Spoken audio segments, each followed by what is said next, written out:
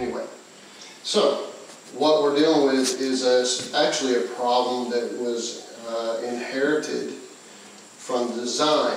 Uh, on the floor, the, uh, the factory ran long sheets lengthways instead of across. That's really bad habit because the particle board and the plywood uh, runs their layers this way also. So inherently, it's weaker and it will bow in between. It doesn't help that it had water on it, but uh, if you'll notice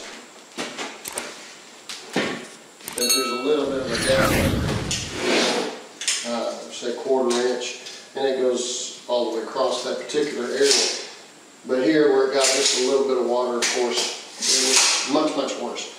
So what we're gonna do is pop lines, and I'll probably replace the material, and guess what? I'm not gonna be running the material lengthways, even if it's only sixteen inches wide. I'm gonna run sixteen inch butt cuts across it, that way the strength is this direction across an area that goes that way.